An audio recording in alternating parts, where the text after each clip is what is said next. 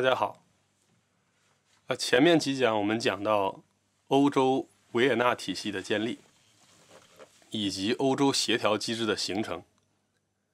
那么在这个过程中呢，我们漏掉了一个非常重要的国家。啊，这个国家它对国际关系史的发展，呃，往往它都起到决定性作用。啊，这个国家就是美国。啊，所以这一讲我们来讲美国的诞生。啊，它的诞生来源于独立战争。呃，如果我们把之前讲过的关于北美的点点滴滴串联起来，呃，我们就会发现，我们之前其实讲过很多关于它的内容。啊，比如新航路开辟的时候，我们曾经讲过，一四九二年是哥伦布啊发现了北美大陆。呃，哥伦布他是因为这个土耳其封锁了地中海的商路，所以他要去找通向印度的商路，也就是说他去找印度的，啊，结果一不留神发现了北美。所以我个人一直不太能理解为什么要把哥伦布叫做伟大的航海家，他明明找错了嘛。那么按道理来说，哥伦布发现了这个北美之后。呃，西班牙在美洲建立自己的殖民统治，啊，这个地方应该是西班牙的，但是这个地方到了一七呃七五年美北美独立战争之前，它是属于英国的，啊，对于这一点也不难理解。啊，如果我们把我们之前讲过的这个关于英国的事情连起来看，我们也能发现线索，啊，比如一五八八年之后，英国打败了西班牙。他开始着手建立自己的海上霸权，啊，到了这个三次英荷战争之后，呃，荷兰战败，把新阿姆斯特丹，也就是现在的纽约曼哈顿，啊，割让给了英国，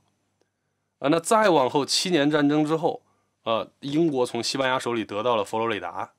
而且七年战争之后，法国作为一个战败国，他放弃了大片北美的殖民地，啊，这些这些殖民地也都被英国所占留。那这个情况下，我们讲到十八世纪中叶，呃，北美基本上为英国所有，我们是不应该感到惊讶的。呃，到了一七七五年，北美独立战争之前，这个地方大概有十三块殖民地，呃，人口在两百多万，有欧洲的移民，呃，也有一些从非洲贩卖过去的奴隶，呃，还有一些当地土著，大家相安无事。哎，可是到了一七六五年的时候，英国的殖民当局就要求增收印花税。那什么叫印花税呢？就是凡是涉及凭证啊、图案啊这些需要印刷的东西啊，都要增加税用。哎，那我们来想，为什么在一七六五年的时候要增加这个税收？这个年份是不是一个巧合？呃，很明显，它不是一个巧合，因为这一年正好是珍妮纺纱机被发明出来的一年，而珍妮纺纱机的发明，呃，标志着欧洲工业革命的开始。呃，所以也就是说，英国马上就要走上一条以机器代替人工、人类手工的这样一个工业化道路。那它的印刷品的数量和质量都会上升。那所以它增加税收一点都不奇怪，而且本土都增加了，那这殖民地当然也要增加。哎，可是北美的这些人民他就不会同意，因为从一六零七年弗吉尼亚作为第一块北美的英国的殖民地建立起来之后，呃，这个欧洲大陆往北美这个移民浪潮就进入了一个高峰期啊，尤其一六二零年的时候，当时。呃，五月花号上有一大批受迫害的清教教徒来到美国，这是人类自由史上浓墨重彩的一笔。啊，也就是说，大家从欧洲到北美来生活，本来就是为了逃避欧洲大陆那些战争啊、啊经济剥削啊、这个宗教剥削啊、政治压迫等等。啊，那我来到了这样一片人间净土，你现在英国殖民当局又要加税，啊，所以就不同意。啊，不同意他就要反抗，啊，有反抗就有镇压。所以到了一七七零年的时候，当时在波士顿，就发生了一个波士顿惨案。啊，英国的殖民当局制造了一起惨案，啊，杀害了五个美国人。啊，当然当时还不能叫美国人，那只能叫这个北美北美居民。那这就引起了这个当地极大的这个骚动和愤慨。哎，可是这里要讲的很有趣的一点在于，这个枪杀美国当地呃北美当地居民的这个英国士兵的辩护律师，就是美国的第二任总统约翰亚当斯。我们发现好像美国它流行这一套，啊叫做吃里扒外，而且这一幕一点都不罕见。比如萨达姆的辩护律师啊，他也是一个美国人，而且以前还做过美国的高官。那这个作为我们来说，就有一点不能理解，这不是这个叛国的行为吗？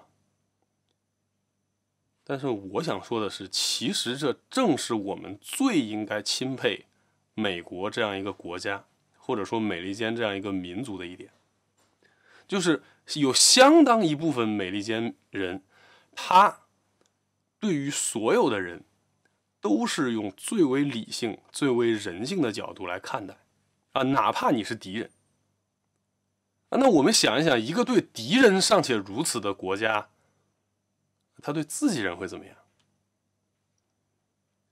这是我值得我们思考的一个问题，它也是文化的一个差异。其实我们中国并不缺乏这样的案例。我们叫做仁者无敌，呃，可能会很多人说，那这个如果像，呃，中这个日本侵华战争的时候，日本人对我们怎么样怎么样怎么样？那如果我们现在反过来也想对日本人怎么样怎么怎么样，那我们跟他们有什么区别？这是我们要思考的。那么压死骆驼的最后一根稻草是波士顿清查事件，啊，我们前面曾经讲过三种殖民类型。啊，英国是典型的叫做市场殖民，就是他把这个地方变成我的原料供应地啊，然后到英国经过工业加工之后再高价卖给你，啊，用这样的方式来进行一种经济上的剥削，啊，对北美它也不例外。那这样的这个方式来说，对北美的经济，它造起到了一种压抑作用，那所以到了一七七三年的十二月。那这一天就有几个波士顿的年轻人啊，趁着夜色，化妆成印第安人，跑到了一艘英国的商船上，把这个大量的茶叶全都倒到了海里。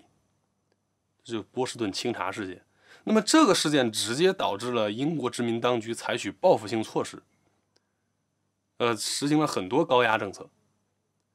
在这样的背景之下，一七七五年。这一年的四月，在莱克星顿这个地方，呃，双方产生了激烈摩擦，北美独立战争开始。那么同一年，这个在费城召开了第二届大陆会议，啊，一七七四年的时候曾经召开过第一会，第一次，啊，那一次决定的是要不要同英国决裂，啊，因为它有一个文化上还有感情上的一个惯性。啊，所以那一次决定了，最终要跟英国决裂。那第二次会议就要决定怎么决裂。啊，具体来说就是武装武装斗争。啊，组织了大陆军，其中华盛顿被任命为大陆军的总司令。所以这样，北美独立战争的军事准备，在第二次大陆会议上就完成了。那么接下来，在一七七六年的时候，美国通过了《美国独立宣言》。呃，这个独立宣言也是北美独立战争的一个政治纲领啊。事实上，很多美国人把独立宣言颁布的这一天，也就是一七七六年的七月四号，啊，当成美国的国庆日。我们前面曾经讲过，独立宣言它受启蒙思想家洛克的影响非常之大。啊，我们这里就可以看独立宣言里，它有这样一段话：呃，我们认为一些真理是不言而喻的。人人生而平等，而且被赋予不可剥夺的权利，包括生命权、自由权和争和争取幸福的权利。呃，为了保障这些权利，呃，人们才建立他的政府。所以政府的正当权利来自于被统治者对政府的承认。那我们看到这里就会发现，它是不是跟洛克的这个逻辑是一样的？好，那有了军事准备，有了政治准备，打仗打的是银子啊。那么这个这个时候的北美啊，这个时候应该称美国，因为独立宣言已经颁布了啊，它跟英国之间的这个国力的差距还是非常之大，尤其是经济实力。那这个时候。在独立宣言刚刚颁布完了之后，富兰克林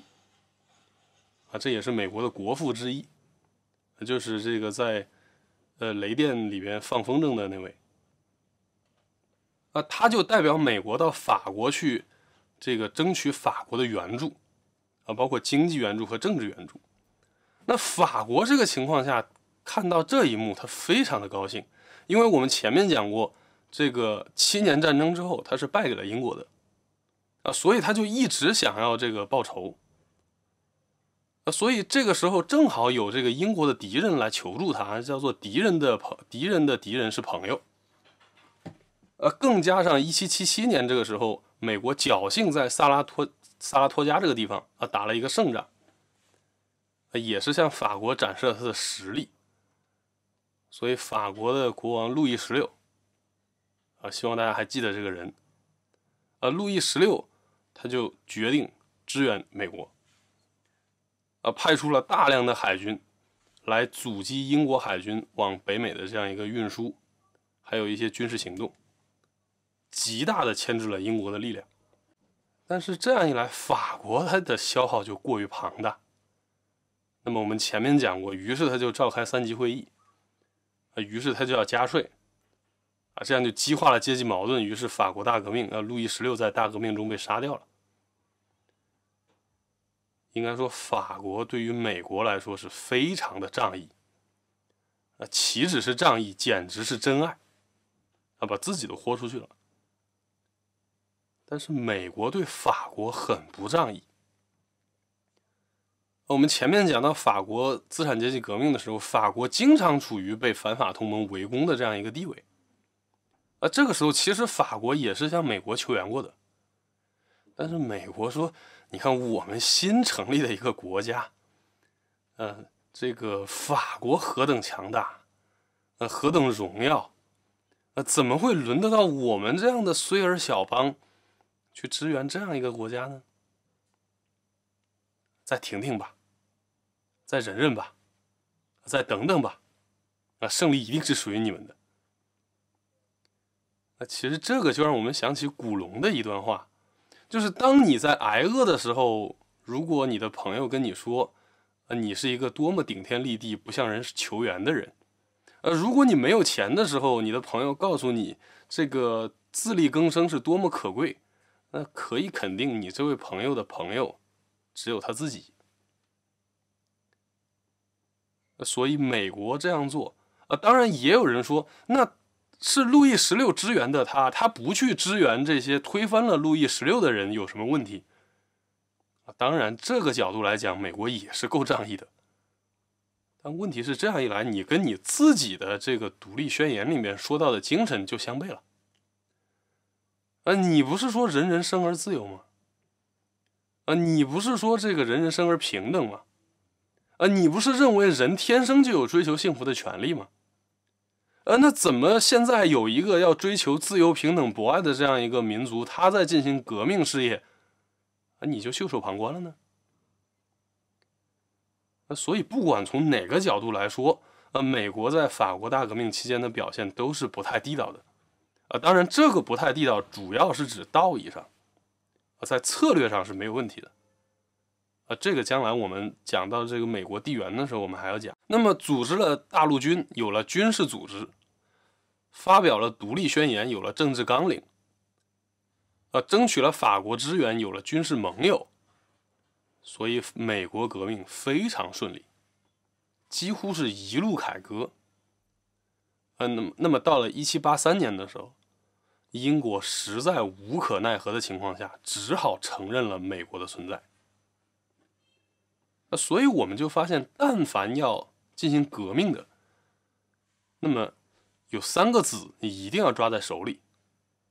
叫做枪杆子啊，比如大陆军啊；笔杆子，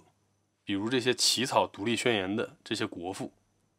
还有钱袋子啊。当然，美国它本身没有钱袋子，但是法国替他充当了钱袋子，而且把自己都给掏干了。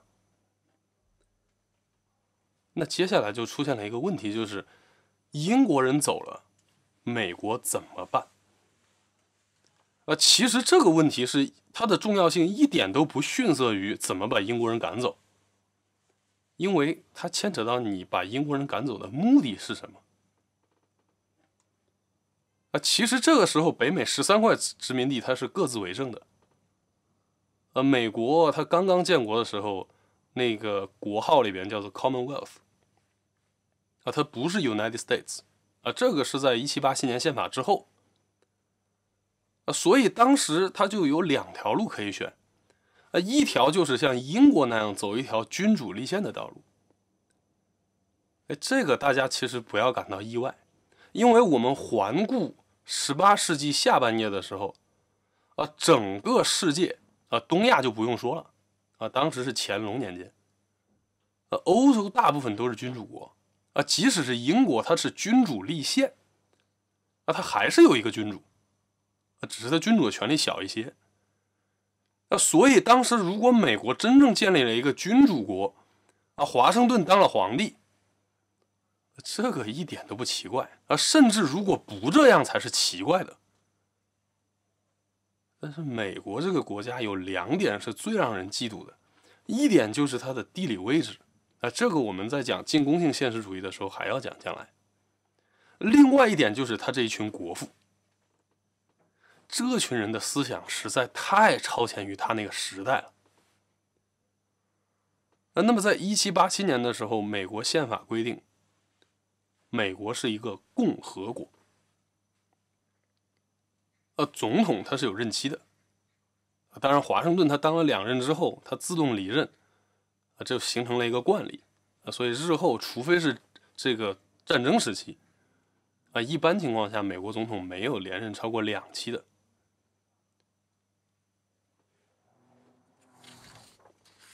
所以，这样一个纯粹的民主制国家，在当时的十八世纪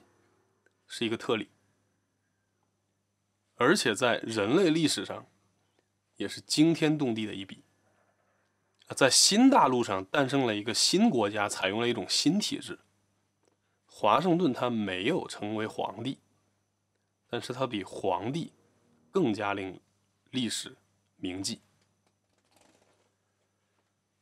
但是当时并不是没有这种声音，啊，有很多，尤其是军方的人，啊，他会说我们这个领袖是不是要做皇帝？你要说华盛顿他一点这个心思都没有，啊，在那个环境之下，